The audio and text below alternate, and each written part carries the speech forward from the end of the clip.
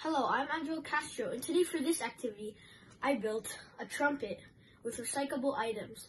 This build um, contains a Jollibee cup, a Pepsi bottle top thing, and then more Pepsi bottle plastic to make decorations, tape to keep it together, and then uh, I don't know what to call it, but like a toy whistle.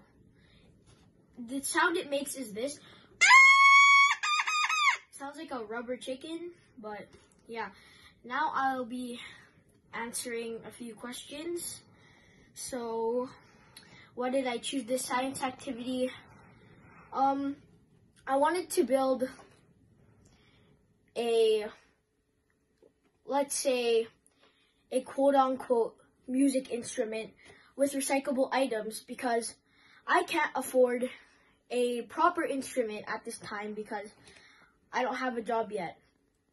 What kind of prior knowledge did I use to complete this activity? I used the knowledge or I used my artistic knowledge to and my creativity to build this.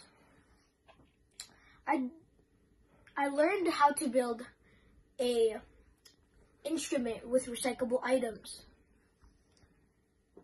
I don't think this was very challenging because when I was building this, my dad helped me cut it, tape it up, and, you know, stick everything together to make the trumpet.